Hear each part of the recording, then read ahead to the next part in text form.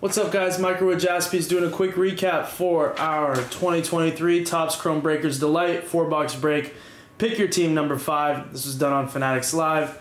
Here's the list. Pause it if you need to. There you go. Let's get into the recap. It was Swanson at 25. Some parallels here. Alvarez to 299. Naylor Youthquake. Luis Ortiz to 99. Garrett Mitchell times two.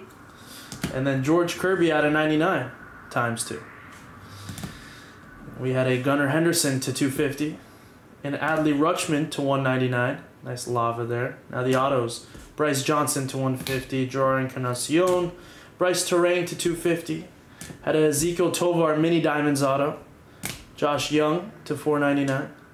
Senga to 499. Brian O'Keefe to 25. Casas to 499 and irradiating rookies of Corbin Carroll. There we go. Very nice break. Thank you to everyone who got in. Thank you guys for watching, and I'll see you guys in the next one. Bye, guys.